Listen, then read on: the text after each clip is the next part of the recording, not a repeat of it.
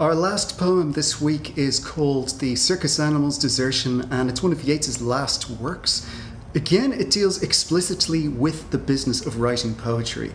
It has some notable formal qualities. It's written in eight line stanzas in a form called ottava rima, and it has an unusual numbering system. Yeats doesn't number the individual stanzas, but he numbers the poem in such a way that we are compelled to read it in three sections. The first stanza makes up one part, then three stanzas together form part two, with a last conclusive stanza as part three. And here is how it begins I sought a theme and sought for it in vain. I sought it daily for six weeks or so.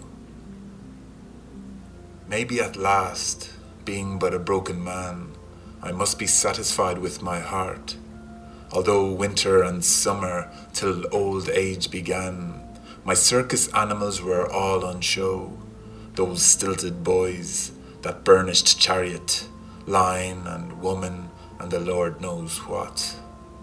What's odd here is that the first lines form a separate standalone statement, which is usually something you expect to find at the end of a stanza. You'd expect to find some sort of gathering of thoughts followed by an evaluation. So, what we have gives us immediacy.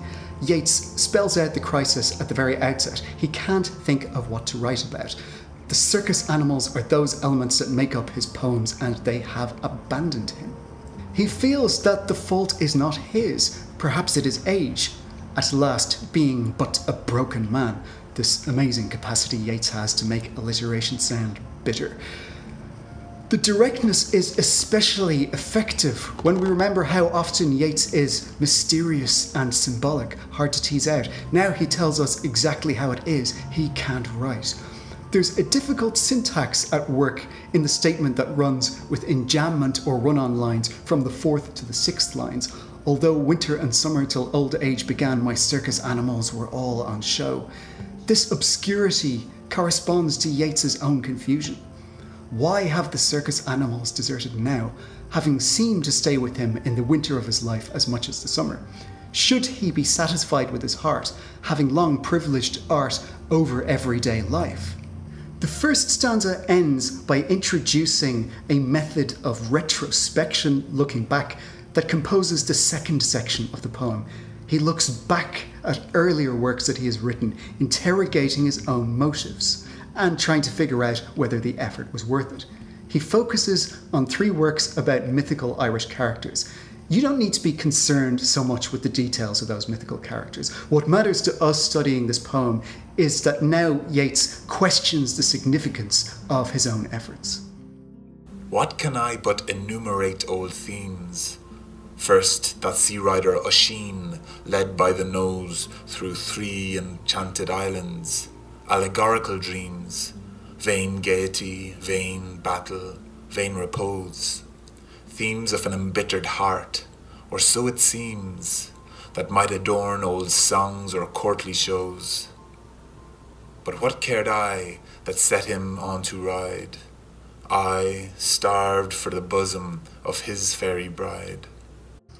Yeats's purpose here isn't simply to write a new poem on old subjects, but to examine his own processes earlier in life as a poet. How did he write those poems and why?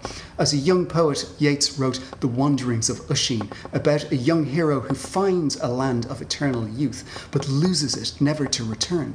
Yeats wonders whether he has been hackneyed as a writer, dealing in allegorical dreams that might adorn old songs or courtly shows.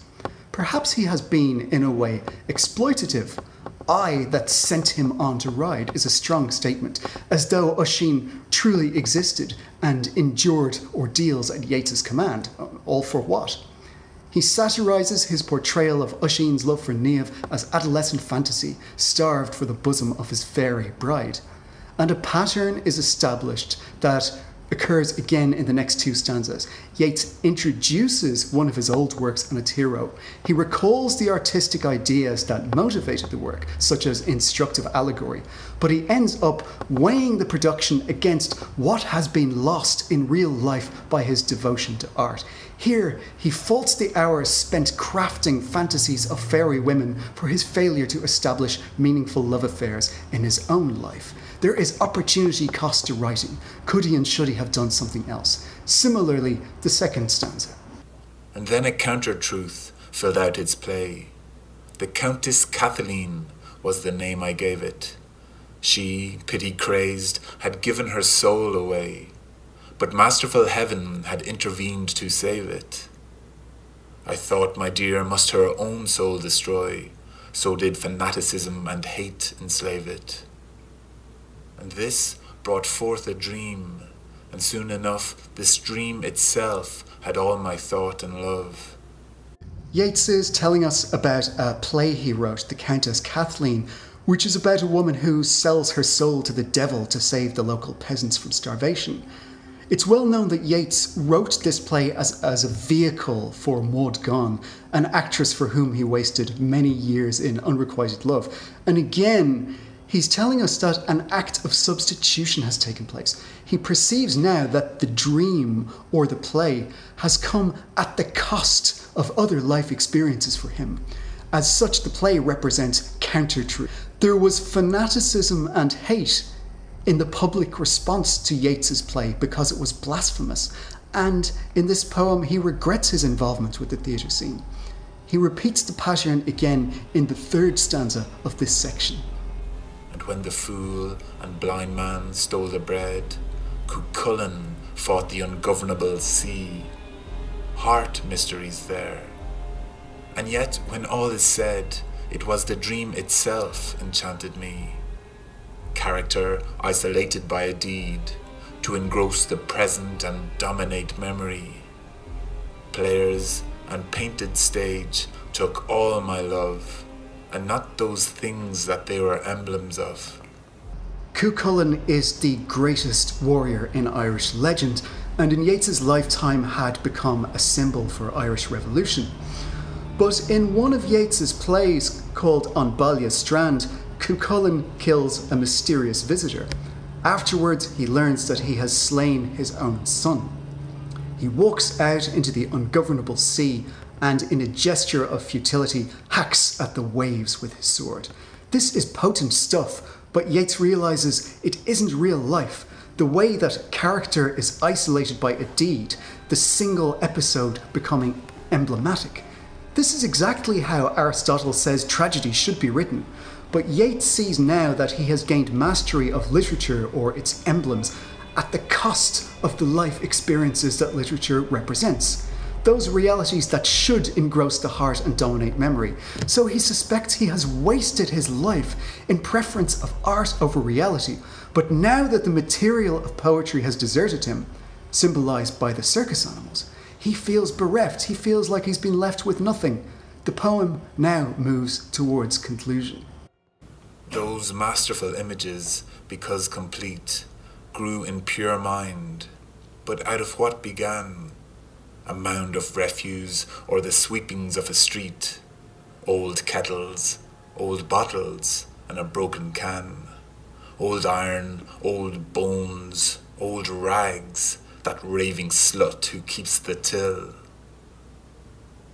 Now that my ladder's gone, I must lie down where all the ladders start, in the foul rag and bone shop of the heart. At last, there is a glimmer of hope.